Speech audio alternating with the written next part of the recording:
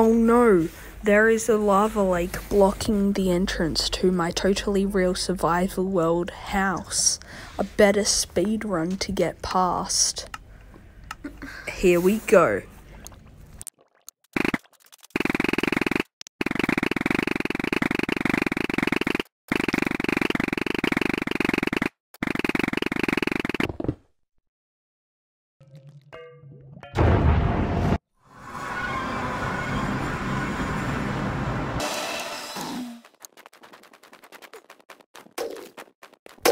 Mm-hmm.